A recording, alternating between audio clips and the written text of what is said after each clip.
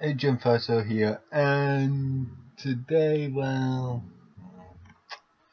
pretty bored here, nothing new to announce, well, except for on Saturday and Sunday that is coming up, I'm going to Portsmouth for a type of holiday.